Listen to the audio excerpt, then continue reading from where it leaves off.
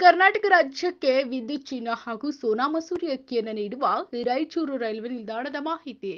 ರಾಯಚೂರು ನಿಲ್ದಾಣವು ಸಾವಿರದ ಎಂಟುನೂರ ಎಪ್ಪತ್ತೊಂದರಲ್ಲಿ ಪ್ರಾರಂಭವಾಗಿದೆ. ಇದು Bengaluru city junction, Yeshwantpur junction ಮತ್ತು ಹುಬ್ಳಿ ಜಂಕ್ಷನ್ ನಂತರ ನಾಲ್ಕನೆಯ ಜನನಿಬಿಡ ನಿಲ್ದಾಣವಾಗಿದೆ. ರಾಯಚೂರು ಜಂಕ್ಷನ್ ರೈಲು ನಿಲ್ದಾಣದ ಸೆಷನ್ ಕೋಡ್ ಆರ್ಸಿ ವಲಯ, ದಕ್ಷಿಣ ಮಧ್ಯ ರೈಲ್ವೆ ವಲಯ ವಿಭಾಗ ಗುಂತ್ಕಲ್.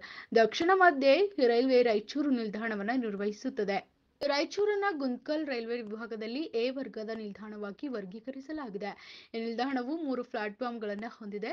ನಿಲ್ದಾಣವು ಮೂರು ರೈಲು ಮಾರ್ಗವನ್ನು ಹೊಂದಿದೆ. ಮೊದಲನೇದು ಸೋಲಾಪುರ, ಗುಂದ್ಕಲ್ ವಿಭಾಗದ ಮಾರ್ಗ, ಎರಡನೆಯದು ಗದ್ವಾಲ್ ಮತ್ತು ರಾಯಚೂರು ಮಾರ್ಗ, ಮೂರನೆಯದು ಮೆಹಬೂಬ್ ನಗರ, ಮುನಿರಾಬಾದ್ ಮಾರ್ಗ.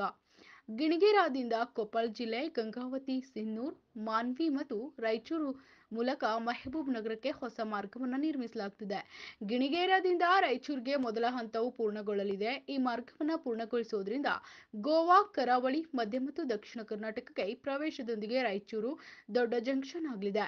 ಹೈದರಾಬಾದ್, ಮಂಗಳೂರು ನಡುವಿನ ಅಂತರ ಗಣನೀಯವಾಗಿ ಕಡಿಮೆಯಾಗಲಿದೆ. ಆರುನೂರ ನಲವತ್ತೊಂದು ಕಿಲೋಮೀಟರ್ ಪುಣೆ, ವಾಡಿ, ಗುಂದ್ಕಲ್ ವಲಯದಲ್ಲಿ ವಿದ್ಯುದೀಕರಣ ಕಾರ್ಯವು ಗುಂದ್ಕಲ್ ಜಂಕ್ಷನ್ನಿಂದ ಕಲಬುರಗಿ ಜಂಕ್ಷನ್ ಗುಲ್ಬರ್ಗಾವರೆಗೆ ಪೂರ್ಣಗೊಂಡಿದೆ. ಮತ್ತು ಯೋಜನೆಯು ಇದರ ಭಾಗವು ವಿದ್ಯುದೀಕರಣಗೊಳ್ತಾ ಇದೆ. ಪ್ರತಿದಿನ ನಲವತ್ತಕ್ಕೂ ಹೆಚ್ಚು ರೈಲುಗಳು ರಾಯಚೂರು ನಿಲ್ದಾಣದ ಮೂಲಕ ಸಂಚರಿಸುತ್ತಿವೆ. ಕಲಬುರಗಿಯಿಂದ ವಂದೇ ಭಾರತ ಎಕ್ಸ್ಪ್ರೆಸ್ ರೈಲು ರಾಯಚೂರು ನಿಲ್ದಾಣ ಮೂಲಕ ಬೆಂಗಳೂರಿಗೆ ಸಂಚರಿಸ್ತಾ ಇದೆ.